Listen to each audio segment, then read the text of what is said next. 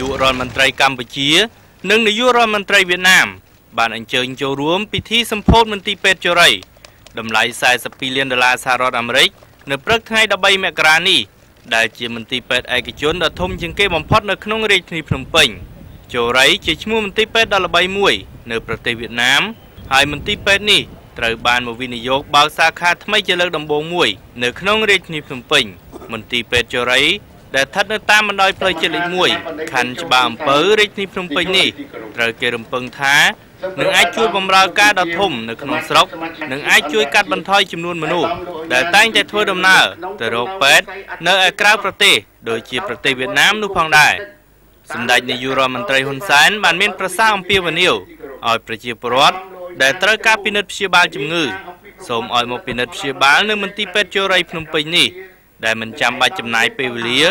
និងផ្លូវវែងឆ្ងាយទៅប្រទេសវៀតណាមដូចមុនទៀតនោះឡើយការវិនិយោគនៅទីនេះគឺត្រូវបណ្ដាក់ទុនដោយក្រុមហ៊ុនពីរចូលរួមគ្នាក្រុមហ៊ុនក្នុងស្រុកគឺ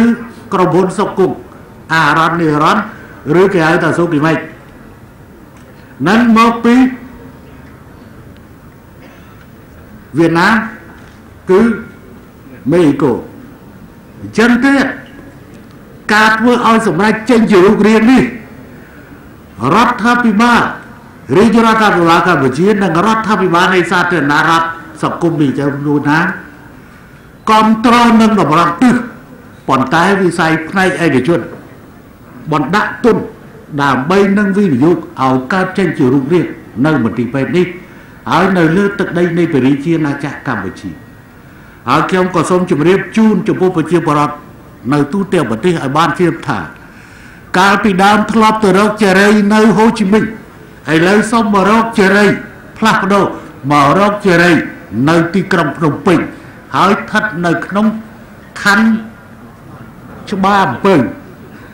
តាមរយៈផ្លូវជាតិលេខ1នេះមន្ទីរពេទ្យជរ័យនេះត្រូវគេនិយាយថា មានអាគារធំធំចំនួន3ដែលបើកបម្រើសេវាពិនិត្យជំងឺ និងផ្ដល់ប្រឹក្សាតាមផ្នែកជំនាញ ជូនអ្នកជំងឺដោយសមរម្យបច្ចុប្បន្នមន្ទីរពេទ្យមានបន្ទប់សម្រាកដែលរៀបចំតាមបទដ្ឋានចំនួន106បន្ទប់មានក្រែចំនួន200និងបុគ្គលិកដែលមានសមត្ថភាពទាំងក្នុងនិងក្រៅស្រុកប្រមាណ200នាក់កំពុងបម្រើការប្រកបដោយសុជីវធម៌និងវិជ្ជាជីវៈរួមមានវិជ្ជាបណ្ឌិតគិលានុបដ្ឋាយិកា